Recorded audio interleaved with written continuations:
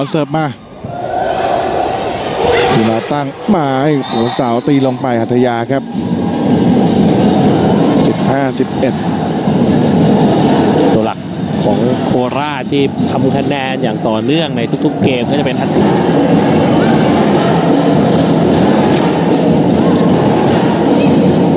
เซตขึ้นมาครับวราพรตีหัวเสาติดบล็อก หยอดไปด้านหลังครับ ยังเก็บได้เวลาพลอยครั้งหนึ่ง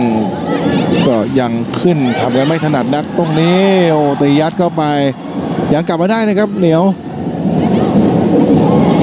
อืมโอ้โหยุทธิดาก็ไม่ถนัดครับบอลชิดเกินไป อีกครั้งหนึ่งติดบล็อกแล้วก็ออกครับอ่าหัทยาก็ตีใส่บล็อกไปเลยอืมเก็บคะแนนต่อเนื่องนิดนึงครับช่วงนี้ครับต่างขึ้นมาทยา โอ้โหว่าอย่างปุ่มไม่ทันครับทยาตรงนี้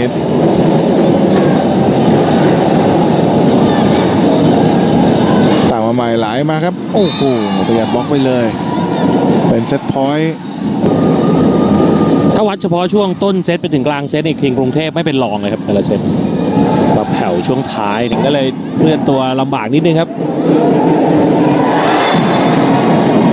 กได้ครับจังหวะนี้ทำได้สามครับเป็นเวลานอกทางเทคนิคครั้งที่สองโดยรวมดีขึ้นมาครับสำหรับทรีบอดแบนนครนนท์แต่ว่ายังตามหลังเจ้าถิ่นอยู่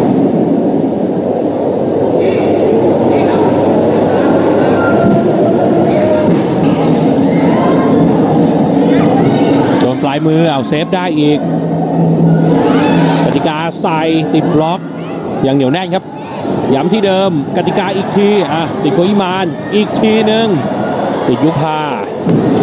สุดท้ายไม่รอดครับตีอัดลงไปทางฝั่งของพัทยาบำรุงสุข